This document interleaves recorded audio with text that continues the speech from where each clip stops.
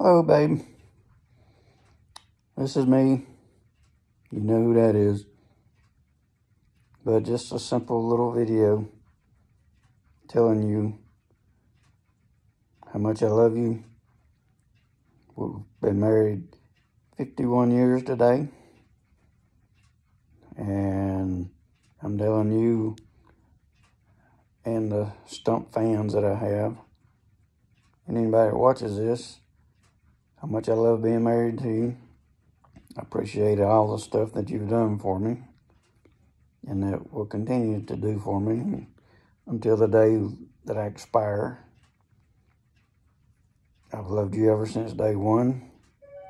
I'll ever, I'll always love you since the last day when I do expire. But in the meantime, just wanted you to know I love you very much.